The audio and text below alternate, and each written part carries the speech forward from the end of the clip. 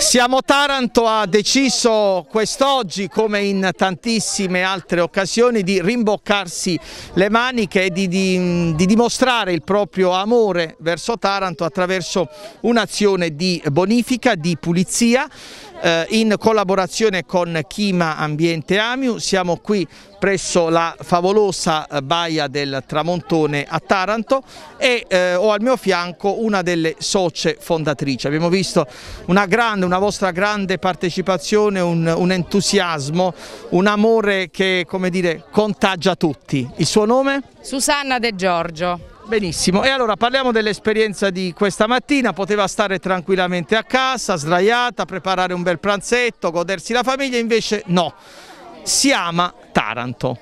Si ama Taranto e la cosa che più ci spinge a fare tutte queste azioni è che nel, negli anni passati il nostro territorio è stato vandalizzato e poco curato. E quindi noi volontariamente la fortuna di aver trovato tante persone con lo stesso intento di voler dare uh, questa impronta anche per dare un esempio a chi ci viene giornalmente a mare perché la nostra città è spettacolare sotto ogni punto di vista.